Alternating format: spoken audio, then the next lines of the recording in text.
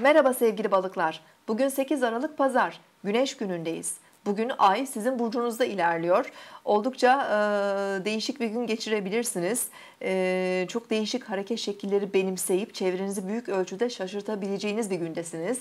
E, duygusallığınız ve yaratıcılığınız e, çok yüksek boyutlarda olabilir. Kısıtlanmaktan çok hoşlanmayan yönünüz bugün birlikte yaşadığınız, ortak paylaşımlar ya, e, yaptığınız kişilere de bazı yenilikler getirebilir.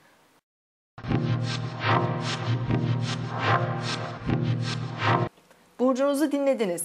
Bugün 8 Aralık Pazar, Güneş günündeyiz. Güney Kova burcunda ve boşlukta başlayan ay saat 10.35'te Balık burcuna geçiş yapacak. Bugün duygusal ve hassas enerjiler daha etkin olabilir. Hayal gücümüz, sezgilerimiz güçlenebilir.